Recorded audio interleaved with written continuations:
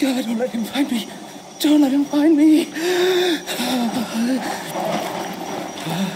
Oh, I, I saw it.